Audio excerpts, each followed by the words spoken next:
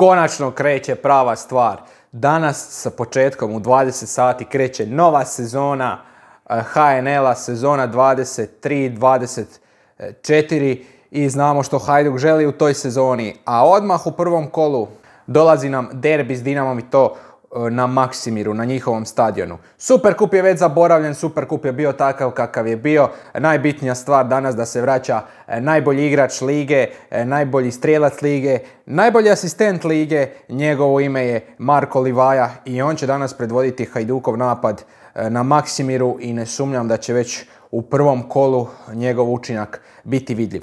Koliko je Marko Livaja važan za Hajdukov sastav mislim da nije potrebno e, previše naglašavati, a vjerujem da će njegova prisutnost na terenu danas e, biti od e, velike važnosti i za naša krila, i za Jasina Benraua, i za naše bočne igrače.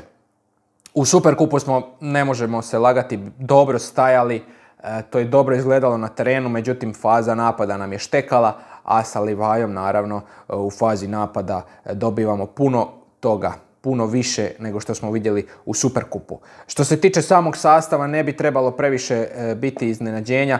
E, dakle, vratar, obrana, i vezni red bi trebali ostati isti e, kao u Superkupu, jedino u vrhu napada se očekuju promjene, dakle ne samo u vrhu napada već u kompletnom napadu, to su Mlakar na lijevom krilu, Sahiti na desnom i Marko Livaja u vrhu napada. E, od Gigi Fou se svidio brojnima u ono malo minuta što je dobio na Maksimiru, to je razumljivo, e, međutim zazivanje od Gigi Foua u prvom sastavu i toga neki zazivaju da zaigra skupa u paru sa Krovinovićem na dva zadnja vezna. Mislim da to nije realno u ovom trenutku, e, pogotovo ako gledamo Dinamovu ekipu e, i dakle kako igra Baturina, kako igra Petković. Mislim da bi upariti Krovinovića i Ođiđu Ofua u ovakvoj utakmici bio recept za katastrofu. E, mislim da Rokas Puštas mora startati iz razloga što je on taj motoričan igrač u vezi duel igrač i to nam treba u ovakvoj utakmici. Sigurno da je Pukštas imao problema uh, u utakmici u Superkupu, no ja bih naglasio da uh, on taj tjedan prije Superkupa nije trenirao kako treba, imao je problema s ozljedom koju je vukao još od priprema, uh, tako da evo ovaj tjedan koliko znam sve je prošlo u redu i očekuje se da danas ipak bude na jednoj većoj razini. Krovinović nije odigrao dobru utakmicu u Superkupu, nećemo se lagati, unatoč tome što ima problema e, s koljenom, e, što prima injekcije, sve to u redu, sve to poštojemno e, mora na današnjoj utakmici ipak biti na još jednoj većoj razini, puno većoj razini u odnosu na Superkup. Moram napomenuti da mi je i drago da će Marko Livaja ponovno uzeti kapetansku traku Hajduka, Krovinovića volim, no meni je on iskreno onako pre tih, e, pre dobar e, karakter za kapetana Hajduka. Mislim, to smo vidjeli i prošli vikend kada on smiruje leku, e, a Bell radi što želi i niti riječi mu nije uputio.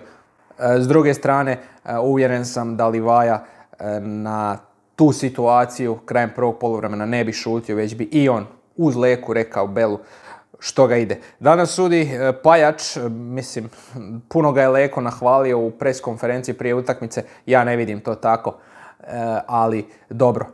Inače, što se tiče obrane, Dario Melnjak je u Superkupu podigao svoju igru na još veću razinu. Kao što smo govorili, bila mu je potrebna konkurencija sada kada je dobio konkurenciju, odmah prva utakmica, to je jako, jako dobro izgledalo i ako Dario Melnjak nastavi sa svojim partijama, kao u Superkupu Diallo se neće e, naigrati puno. Što se tiče stoperskog para, on bi trebao biti isti. Mislim da je on više manje dobro funkcionirao u Superkupu i desno Niko Sigur koji je obramben opet po meni bio besprijekoran u toj utakmici. Imao je na svojoj strani Ivanušeca. Ivanušec mu ništa praktično nije napravio. E, dakle, u ovoj utakmici ćemo imati kao i Superkupu mix bloka, mix pressinga. Moram reći da naša momčad mora paziti dakle, na te međuprostore. Siguran sam da ih je Leko već upozorio na spuštanje Petkovića. Kada smo u napadu moramo paziti na kontre. Dakle, Baturini se ne smije ostaviti e, velik prostor. Dakle, način na koji ga se treba pokušati neutralizirati je duel igra. Kada mu se god nametne duel igra, e, on je tu slabi i onda ga se neutralizira. Tu mislim da je važan Rokas Pukstas koji je u prvom poluvremenu Superkupa u nekoliko navrata uspio nametnuti duel igru Baturini i tu je on odnio pobjedu. E, prema naprijed očekujem raspoloženog Livaju, e, nadam se opet dobroj konverziji, e, dakle u Superkupu je ta završnica bila jako, jako loša, to si ne smijemo dopustiti dva tjedna zaredom. S Livajom tu ne sumnjam da će to biti na većoj razini, očekujem motiviranog Sahitija nakon događaja na utakmici Superkupa, ne znam hoće li reprezentativni vratar danas braniti, je li u Fenerbahčevu nije, Romano ima 5 dana napisao Here we go, on je još uvijek igrač Dinamo, vidjet ćemo večeras po sastavu što će biti.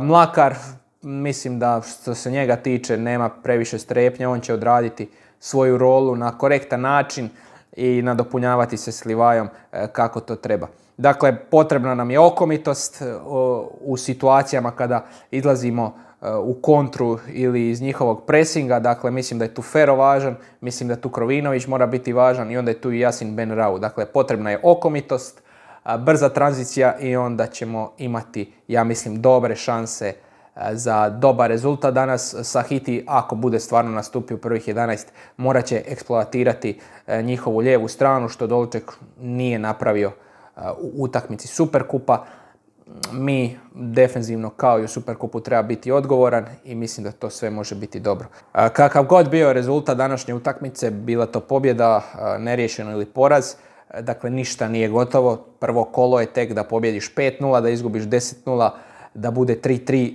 dakle ima još poslije toga 35 utakmica. Sigurno da bi pobjeda bila nevjerojatan zalet za dalje u oči rijeke na poljudu i zato moramo jednostavno danas napraviti jedan pozitivan rezultat.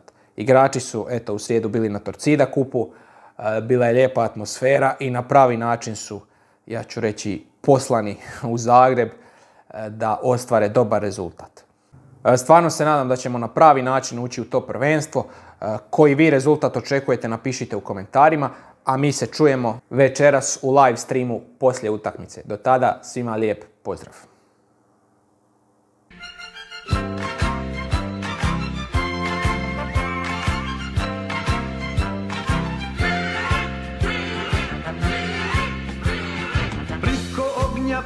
žica, on je gubi, on je tuka, njegova